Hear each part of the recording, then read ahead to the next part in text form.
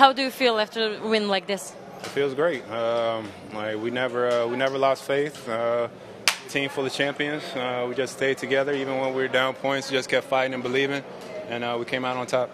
What do you expect in the final?